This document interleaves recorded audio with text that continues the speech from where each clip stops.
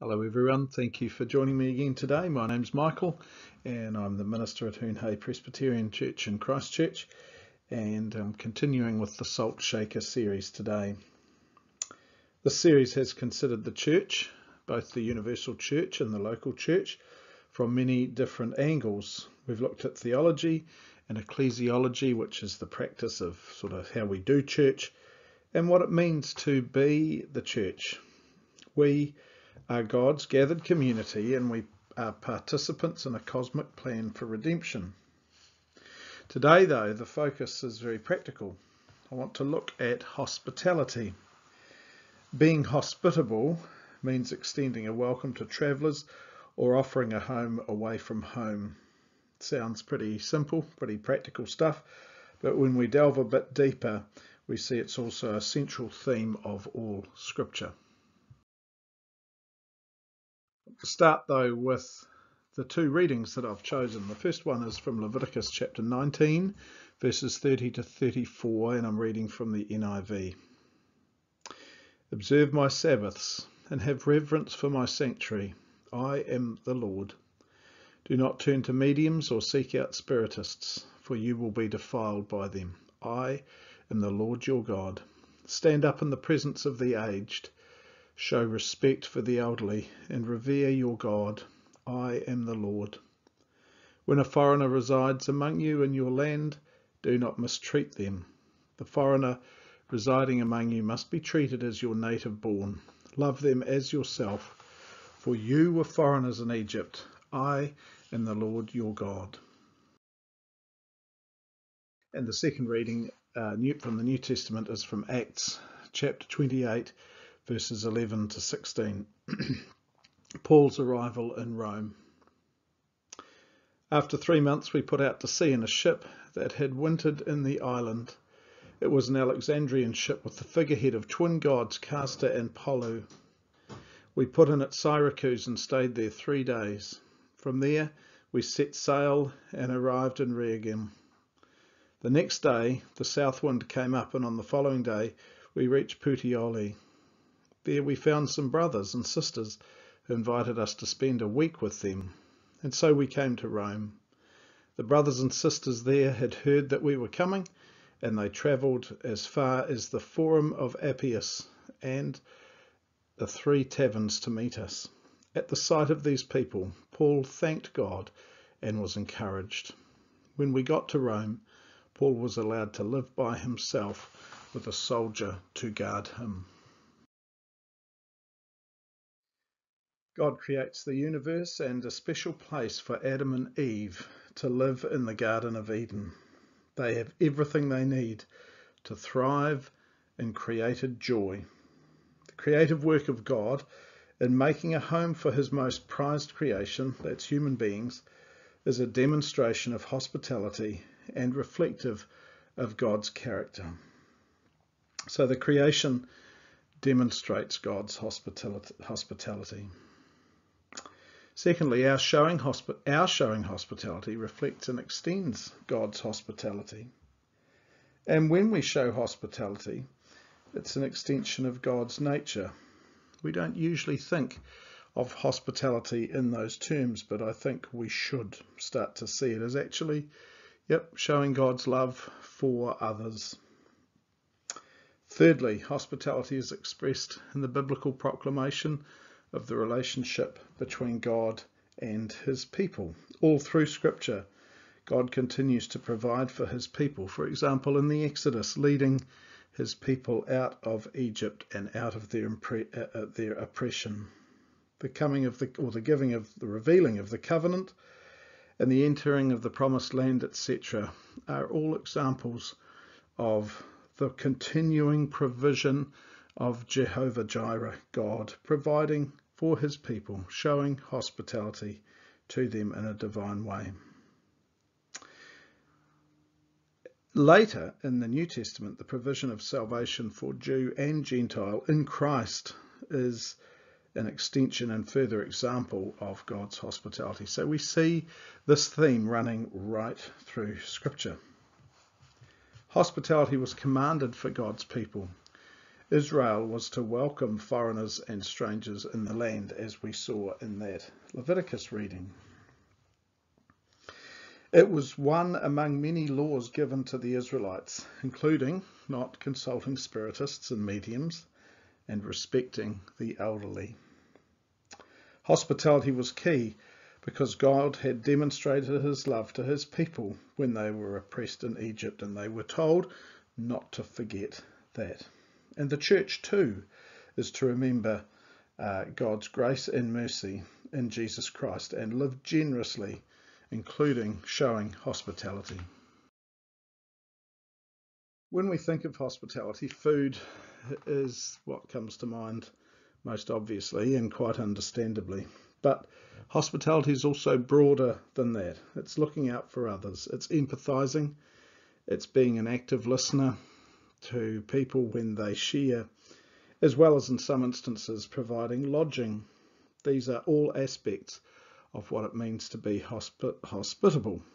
Hospitality includes all these things and sometimes they flow together. When you think about it, being together around food breaks down barriers and inhibitions. We sit on the same level around a common table and we eat the same things and from this conversation flows, uh, conversation flows very naturally. Food just has that effect. There's much going on in these exchanges when we sit together and we eat. And when you think about it, it's these, these situations that make us truly human.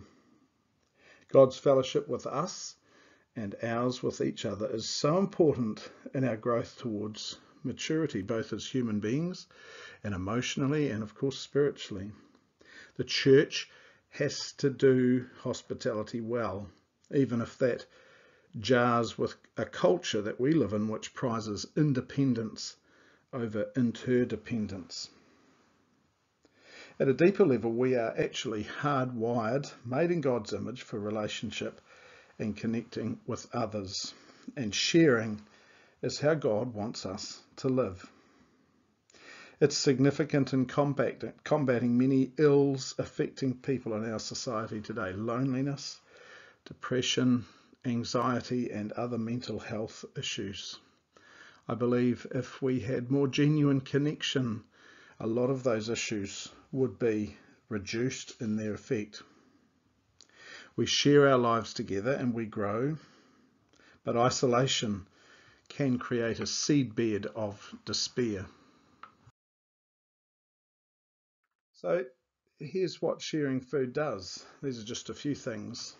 Sharing food reflects the provision of a generous God, Jehovah Jireh, our provider. Sharing food is a natural context for sharing life life's experiences together. Sharing food allows for different levels of interaction we can have general and quite superficial conversation over food, that's fine.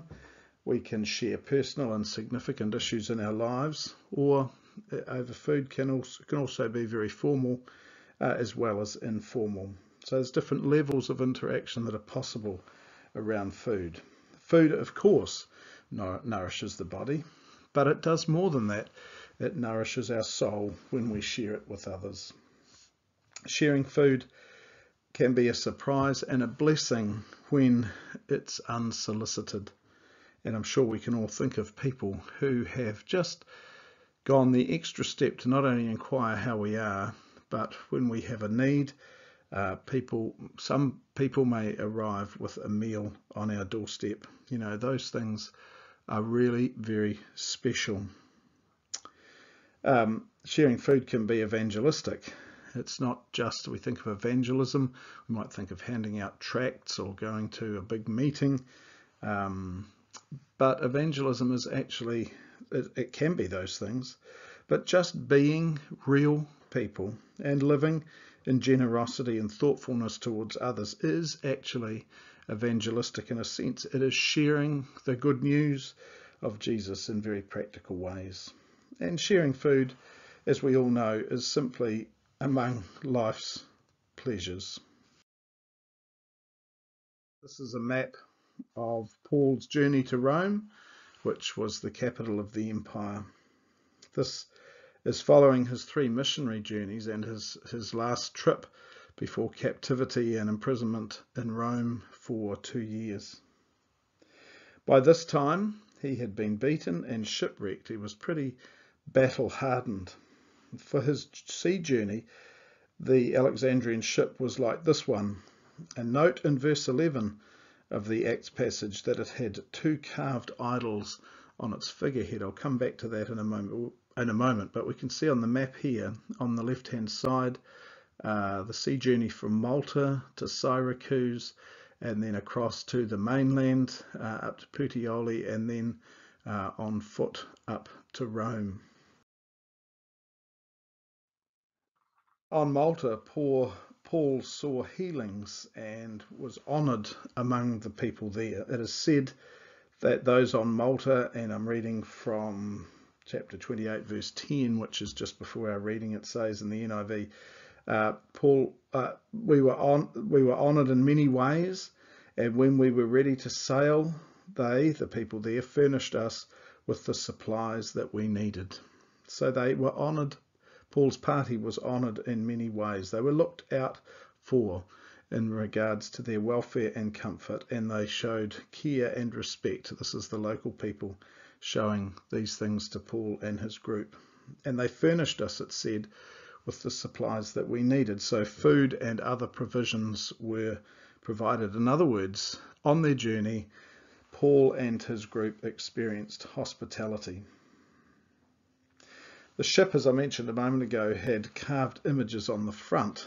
These were the twin brothers, they were called, of Castor and Apollo, the sons of the Greek god Zeus. So we see this picture of the ship here on the very front. Uh, there would have been those images. And it's really interesting because, and quite symbolic, because not even profane idolatry could stop God's plans. We see that too in the book of Judges, by the way. Terrible time in Israel's history uh, when idolatry was rampant and God's people were in real disarray. But even through all of that, God raised up judges, notable individuals. Some of them were notable, some of them weren't. Some of them were very ordinary people. But God moved in spite of the idolatry of the people, and we see another example of it here. It says in verse 14, they found brethren, and so went on land. So, those two letters there, so, S-O. In other words, the love and acceptance and attention of the Christians at Puteoli gave Paul and Luke what they needed to send them where God wanted them to go.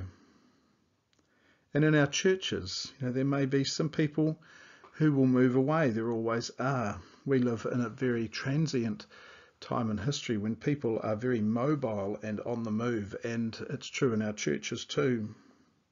Some people sitting in our churches may be here for just a short time to be ministered to in this particular body, and they're being equipped and revived in order to serve somewhere else. And as a parish minister, of course, we want and need people to stay in our particular fellowship, but at the same time, we need to hold people lightly. And when you think about it, all of us are passing through we're all passing through this life. We are all transient in one sense. Verse 15 says, The brethren came to meet them where they were. When the church is being the church of the scriptures, its members will leave their comfort zones to meet the needs of others. We perhaps call these people extra milers, and we know what that means. I have to say, there have been some people in my life who have met me, as it were, at the Forum of Appius and the Three Taverns. People who turn up at the right time and just God uses them powerfully to minister. And people listening may also know special people can look back on their lives and say, Yep, I can see the hand of God in that particular person who did this or did that and really helped me at a point of need. The local church needs to be a place, I believe, of exceptional welcome. The local church needs to be a place of abundant generosity. The local church needs to be a place of full participation in the care of souls. Imagine being a new person here at this church or any other church for that matter. Or perhaps you can recall the first time you attended your church. What stood out? Were others genuinely welcoming? Did anyone inquire if you had needs? Are our churches genuinely welcoming places? I'd like to think so. And I think at Hoon Hay we do some things very well. But of course, there's always room for more. Um, we need to avoid what's called the bystander effect, um, where we can think we can just stand by and let others do things and say to ourselves, oh, look, at someone else's job.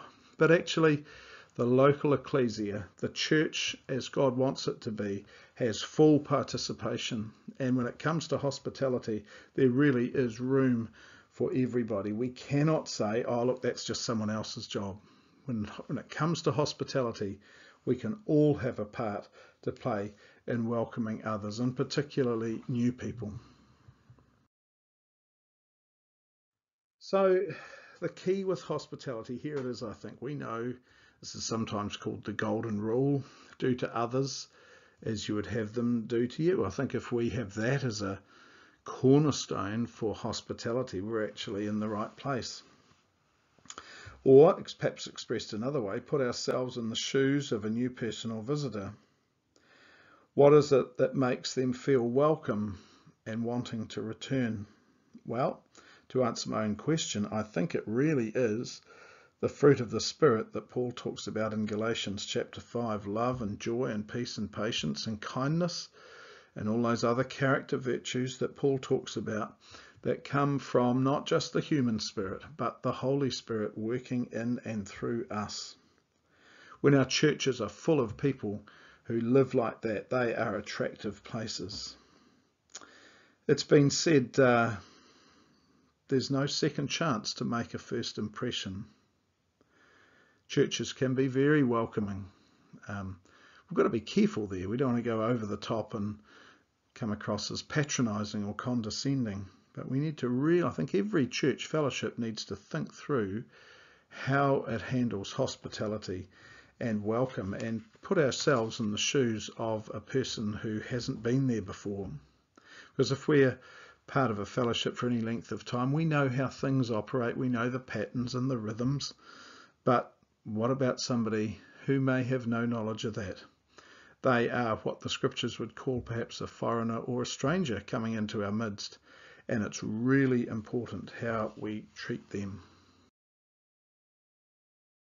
When the local church is a haven of hospitality, it is being the church as God intended. It's a safe harbour for weary souls. Its diverse personalities and gifts equip it to meet every need in some way. And in a truly mysterious way, God is present among all the human interaction and endeavour.